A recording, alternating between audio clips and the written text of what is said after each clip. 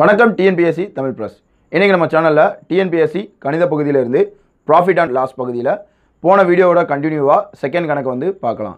So போன வீடியோவில் வந்து ஒரு சிம்பிளான ப்ராஃபிட் அண்ட் லாஸ் கணக்கு வந்து பார்த்தோம். இதுவும் ஒரு சின்ன ப்ராஃபிட் அண்ட் லாஸ் கணக்கு தான். இந்த கணக்கில் ஒரு சின்ன டிஃபர் இருக்குது. அந்த கணக்கை நம்ம எப்படின்னு பார்க்கலாம்.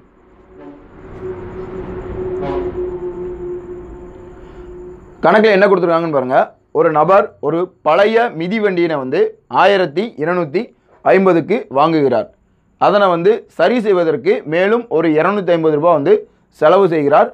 அந்த மிதிவண்டியினை ரூபாய் ஆயிரத்தி நானூறுக்கு விற்கிறார் எனில் அவருக்கு கிடைப்பது லாபமா இல்லது நஷ்டமா? அதை வந்து சதவீதத்தில் வந்து கேட்டிருக்காங்க. அதாவது லாப சதவீதம் இல்லைன்னா நஷ்ட சதவீதம் என்ன அப்படிங்கிறத வந்து கணக்கில் கேட்டிருக்காங்க. ஸோ கணக்கில் வந்து நம்ம காஸ்ட் ப்ரைஸ் எவ்வளோ செல்லிங் ப்ரைஸ் எவ்வளோ அப்படிங்கிறத ஃபஸ்ட்டு ஃபைண்ட் அவுட் பண்ணுவோம். ஸோ காஸ்ட் ப்ரைஸ் எடுக்கிறேன். சிபி காஸ்ட் ப்ரைஸ் அந்த பொருளோட விலை என்ன அப்படின்னு பார்த்தீங்கன்னா ஆயிரத்தி இருநூற்றி ஐம்பதுக்கு வந்து வாங்கியிருக்காரு. செகண்ட் கணக்கை மறுபடியும் வாசிங்க. அதனை சீர்படுத்த ரூபாய் இருநூற்றி ஐம்பதை வந்து செலவு செய்கிறார். ஸோ இவர் வந்து செலவு பண்ணிட்டாரு. அப்போ அந்த பொருளை வந்து ரெண்டாவது விற்கிறாரு ஆயிரத்தி நானூறுபாய்க்கு இப்போ அந்த செலவு செஞ்ச விலை வந்து எங்கே போகும் அப்படின்னு பார்த்தீங்கன்னா வாங்கின விலையோட தான் ஆட் ஆகும். அதனால் அந்த இரநூத்தி ஐம்பதை இந்த ஆயிரத்தி இரநூத்தி ஐம்பது கூட ஆட் பண்ணுறேன் ஸோ டோட்டலாக தௌசண்ட் ஃபைவ் ஹண்ட்ரடுக்கு வந்து அவர் வாங்கியிருக்காரு அப்படின்னு சொல்லி எடுத்துக்கலாம். ஸோ காஸ்ட் ப்ரைஸ் என்ன அப்படின்னு பார்த்தீங்கன்னா ஆயிரத்தி இரநூத்தி ஐம்பது. அந்த வண்டியை வாங்கினதுக்கப்புறம் அதில் வந்து அவர் மேலும் வேலை பார்த்தது ஒரு இரநூத்தம்பது. அதை ஆட் பண்ணி ஸோ டோட்டலாக தௌசண்ட் ஃபைவ் ஹண்ட்ரட் அப்படின்னு சொல்லி கொண்டு வந்திருக்கோம். இப்போ அவர் அந்த பொருளை அதாவது அந்த மிதி வண்டினை எவ்வளோக்கு விற்றார் அப்படின்னு பார்த்தீங்கன்னா ஆயிரத்தி நானூறு. அது selling price SP is equal to thousand four hundred okay இப்போது வாங்கினது வந்து ஆயிரத்தி ஐநூறு விற்றது ஆயிரத்தி நானூறு. இப்போ பார்த்தோன்னே நம்மளுக்கு தெரிஞ்சிடும் ஸோ லாஸா இல்லை ப்ராஃபிட்டா அப்படின்னு பார்த்தீங்கன்னா கண்டிப்பாக லாஸ் ஏன்னா நீங்கள் ஆயிரத்தி ஐநூறுரூவாக்கு வாங்கி ஆயிரத்தி நானூறுரூவாக்கு விற்கும்போது அதில் ஒரு நூறுரூபா வந்து நட்டம் ஆகுது. ஸோ லாஸுக்கான ஃபார்முலா என்ன அப்படின்னு பார்த்தீங்கன்னா loss is equal to cost price minus selling price so இதுதான் லாஸ்க்கான ஃபார்முலா ஸோ லாஸ் எவ்வளோ அப்படின்னு பார்த்தீங்கன்னா thousand five hundred minus thousand four hundred so loss is equal to hundred okay loss வந்து நம்ம கண்டுபிடிச்சாச்சு. ஸோ அந்த கணக்கில் கொடுத்துருக்கிற விஷயங்களை வந்து நம்ம வாசித்து கணக்கை வந்து பண்ணியாச்சு. ஸோ அவருக்கு வந்து நட்டம் தான் ஏற்பட்டிருக்குது. நூறுரூபா நட்டம் அப்படிங்கிறத நம்ம கண்டுபிடிச்சிட்டோம். ஆனால் கணக்கில் என்ன கேட்டிருக்காங்கன்னா லாபம் அல்லது நஷ்ட சதவீதம் என்ன அப்படின்னு சொல்லி கேட்டிருக்காங்க. ஸோ லாஸ் பர்சன்டேஜ் எவ்வளோ அப்படின்னு சொல்லி நம்ம ஐடென்டிஃபை பண்ணணும். இப்போ லாபம் வந்து நூறுரூபான்னு கண்டுபிடிச்சிட்டோம். இதை லாஸ்ட் பர்சன்டேஜில் வந்து நம்ம கண்டுபிடிக்கணும் அப்படின்னா அதுக்கு ஒரு ஃபார்முலா இருக்குது.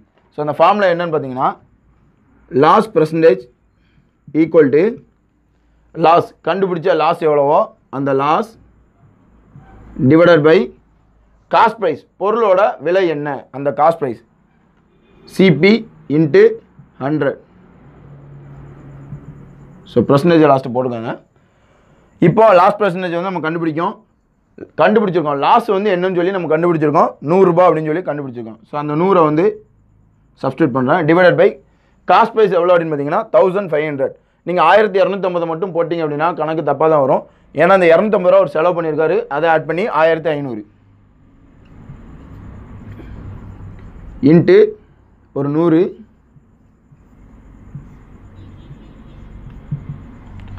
ஸோ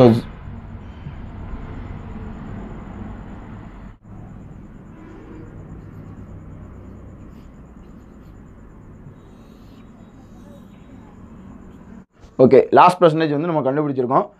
லாஸ்ட் பர்சன்டேஜுக்கான ஃபார்முலாவில் லாஸ் எவ்வளோ அப்படின்னு சொல்லி கண்டுபிடிச்ச நூறை வந்து சப்ஸ்டியூட் பண்ணுறோம் கீழே வந்து சிபி அதாவது காஸ்ட் ப்ரைஸ் எவ்வளோன்னு பார்த்தீங்கன்னா தௌசண்ட் ஃபைவ் ஹண்ட்ரட் அதையும் அப்ளை பண்ணியிருக்கோம். இன்ட்டு ஹண்ட்ரட் அந்த ஃபார்முலா வந்து அப்ளை பண்ணதை வந்து நீங்கள் சுருக்குனீங்க அப்படின்னா நூறு டிவைடட் பை பதினஞ்சு அப்படின்னு சொல்லி கிடைக்கும். அதை நீங்கள் மேலும் சுருக்கினீங்க அப்படின்னா இருபது டிவைடட் பை மூணு அப்படின்னு சொல்லி இருக்கும். ஸோ அந்த இருபது டிவைடட் பை மூணு அப்படின்னு சொல்லி ஆப்ஷனில் கொடுத்துருப்பாங்க. அப்படி இல்லாமல் பாயிண்ட் வழியில் கொடுத்துருக்காங்க அப்படின்னா நீங்கள் இதையும் மேலே சுருக்கி பாயிண்ட் வழியில் எடுத்துக்கோங்க. ஆப்ஷனில் மேக்ஸிமம் வந்து இந்த மாதிரி பின்ன வழியிலே வந்து கொடுத்துருப்பாங்க. ஸோ லாஸ்ட் பர்சன்டேஜ் எவ்வளோ அப்படின்னு பார்த்தீங்கன்னா இருபது டிவைடட் பை மூணு அப்படின்னு சொல்லி நம்ம கண்டுபிடிச்சிருக்கோம். போன ப்ராஃபிட் அண்ட் லாஸ் கணக்கில் பார்த்தீங்கன்னா ஒரு பொருளை வாங்கினது எவ்வளோ விற்றது எவ்வளோ அதில் லாபம் என்ன அப்படின்னு மட்டும்தான் கண்டுபிடிச்சோம். அதே இது எத்தனை பொருட்களுக்கான லாபம் என்ன அப்படிங்கிறத பார்த்தோம். ஸோ இந்த கணக்கில் என்ன அப்படின்னு பார்த்தீங்கன்னா ஒரு பொருளை எவ்வளோ விலைக்கு வாங்கியிருக்காரு எவ்வளோ விலைக்கு விற்றுருக்காரு அப்படிங்கிறதான் இதுலேயும் கொடுத்துருக்காங்க. அடிஷ்னலாக ஒரு சப்ஜெக்ட் வந்து ஆட் ஆகுது. என்ன அப்படின்னு பார்த்தீங்கன்னா அந்த பொருளுக்கு இவர் வந்து அடிஷ்னலாக செலவு பண்ணுறாரு அந்த செலவை வந்து வாங்கினதில் ஆட் பண்ணணுமா? இல்லது விற்றது ஆட் பண்ணணுமா? அப்படிங்கிறத சொல்லி நம்ம அதை கரெக்டாக ஐடென்டிஃபை பண்ணணும். ஸோ வாங்கினதில் தான் அதை ஆட் பண்ணுறோம் ஆட் பண்ணி காஸ்ட் ப்ரைஸை வந்து கண்டுபிடிக்கிறோம். ஸோ காஸ்ட் ப்ரைஸும் செல்லிங் ப்ரைஸும் நீங்கள் ப்ராஃபிட் அண்ட் லாஸ் கணக்கில் வந்து கண்டுபிடிச்சிட்டிங்க அப்படின்னா அந்த கணக்குக்கு கண்டிப்பாக அக்யூரேட்டான ஆன்சரை வந்து உங்களால் கண்டுபிடிக்க முடியும். ஸோ ப்ராஃபிட் அண்ட் லாஸ் கணக்கில் வந்து கண்டினியூவாக நெக்ஸ்ட் வீடியோவில் வேறு ஒரு மாடல் கணக்கை வந்து நம்ம பார்க்கலாம். இந்த வீடியோ பிடிச்சிருந்துச்சி அப்படின்னா இந்த வீடியோவை வந்து லைக் பண்ணுங்கள் உங்கள் ஃப்ரெண்ட்ஸுக்கு வந்து இதை ஷேர் பண்ணுங்கள் நீங்கள் இன்னும் சேனலை சப்ஸ்கிரைப் பண்ணலை அப்படின்னா மறக்காமல் சேனலை சப்ஸ்கிரைப் பண்ணுங்கள் நன்றி வணக்கம்.